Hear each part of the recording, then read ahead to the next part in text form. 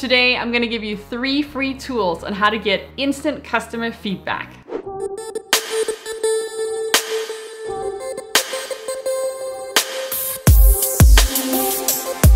Hi everyone, my name is Winnie Standish and I have built my company using hard work and dedication. And today I am giving you three tools that you can use for your business to get instant customer feedback. We're gonna be talking about Instagram stories, Facebook polls, and at the very end of this video, I'm gonna tell you how to use Google surveys to really optimize your business.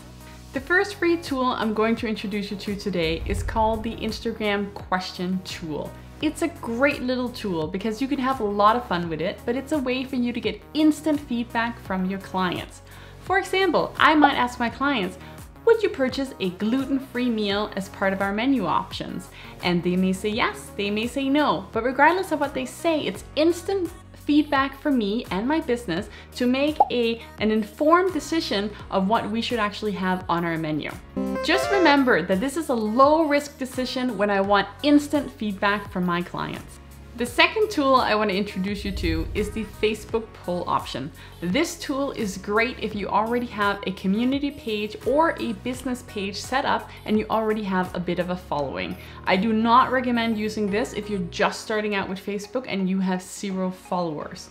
But if you do, you should definitely take advantage of this poll option because Facebook allows you to poll your clients and ask them multiple questions at the same time. And you can set it up so that they either select one answer or multiple answers, which is great if there is more than one right answer to the question that you want to know.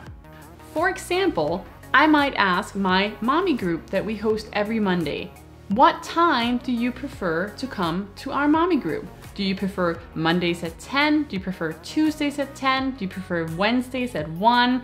The list goes on. But the idea is that the client can go in and they can select multiple choices because they might be able to attend both on Mondays and Tuesdays. So this is a great tool for getting more in-depth feedback from your clients. The third free tool I want to introduce you to is the Google Survey tool. This tool is great because not only is it a free tool, it is also a tool that you can customize, meaning that you can do very short surveys for your clients, you can do very lengthy surveys for your clients, and you can set it up so that you can either ask them multiple choices or they can type in full-on sentences in order for you to get the results that you want from this survey. I like to use this tool to gather feedback after I've completed a term of classes. So for example, my clients, they do classes with me, and when they are done with the term, I like to ask them the following questions. Did you enjoy your instructor? How would you rate her from a scale from 1 to 10, with 10 being the best?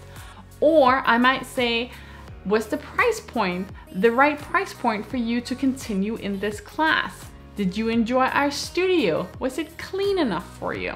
There's so many different things that you can ask your clients, but it is important that you only ask them a max of 10 questions or otherwise they're gonna lose their interest and they're gonna just abandon it. If you enjoyed this video, I would love it if you can subscribe to this channel. I put out great content every single week to help your small service business. And don't forget to comment below and tell me what are you gonna be asking your clients in their Instagram feed? What are you gonna be asking your clients on Facebook? Or what are you going to be surveying your clients about using the Google Forms? I wanna know, tell me. Until next time, have a positive day.